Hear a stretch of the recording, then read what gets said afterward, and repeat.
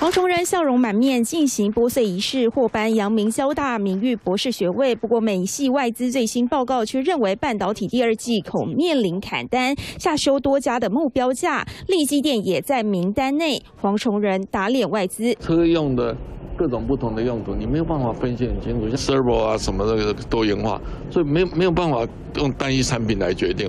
这个是落后的思想，是用 PC 手机来决定。立基电接单传出已经满到今年底，年度营运有望占新高。二哥联电受惠于 WiFi Six 的晶片以及 OLED 面板驱动 IC，二十八纳米满单到明年，传出未来三年的产能也被大客户包下。法人看望营收有望年增超过两成。产能就这么大，怎么会大幅增长？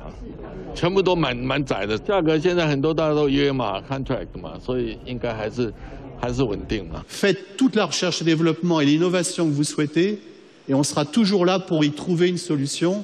欧洲一发半导体正式发出涨价通知，第二季开始将调整全产品线的价格。这是今年传出库存调整的声浪下首家涨价的指标厂，在车用和工业应用的加持下，微控制器 MCU 人工不应求，台厂新唐盛群等 MCU 的报价走势也受阻。半导体界大咖持续看望当前产业需求。第二季是稳定，但是现在的订单。主要是讨论第三季。卢超群也向政府喊话：台湾半导体身具实力，但科技的相关法规成为挑战，需要快速和国际接轨。海内外大厂满手订单，持续迎来涨价潮，以实际行动扭转外资对半导体的悲观看法。三立新闻杨超成、李文科新竹报道。